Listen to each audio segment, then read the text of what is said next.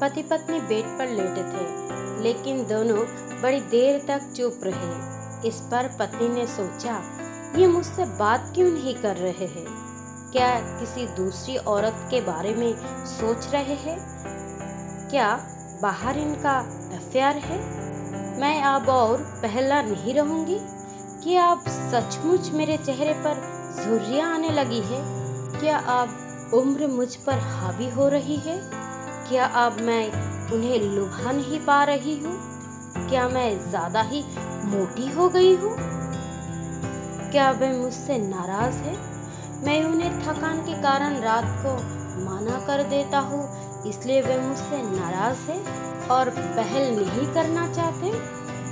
पत्नी की सोच और गंभीर हो गई। वो सोचने लगी मुझे बच्चों को सुबह जल्दी स्कूल के लिए तैयार करना होता है और फिर घर के काम भी तो देर रात तक ख़त्म होते हैं, इसलिए कभी मैं उन्हें मना कर देती हूँ। लेकिन मेरी परेशानी कौन समझेगा? बस हर बार इनकी बात मानो तो ये खुश रहेगा, वरना बात भी नहीं करेंगे।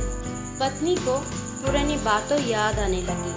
पहले कभी ऐसा कुछ लगा नहीं कि ये दूसरे के चक्कर में फंस गया है। लेकिन अगर मेरी काया अब पहले की तरह नहीं रह गई है तो हो सकता है कि इनके ऑफ़िस में किसी औरत ने इन पर डोरे डाले हैं और ये उसके चक्कर में आ गया हो। पुरुष का क्या है? वो तो बाहर कुछ भी कर सकते हैं।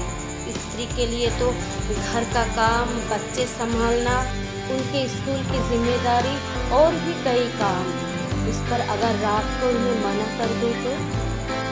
एक के बाद एक ख्याल पत्नी के मन में आ रहे थे और बहुत सारी संख्याओं से उसका दिल बैठा जा रहा था। दूसरी तरफ़ दूसरी तरफ़ पति सोच में डूबा था, इस धोनी को भी अकल नहीं है। आखिरी ओवर रविंद्र जाडेजा से ये क्या करवाया? तो दोस्तों अगर आपका पार्टनर चुपचाप है तो गलत मत सोचो। हर वक्त पति गलत नहीं होते। और हाँ मेरे चैनल को लाइक शेयर सब्सक्राइब ज़रूर करना।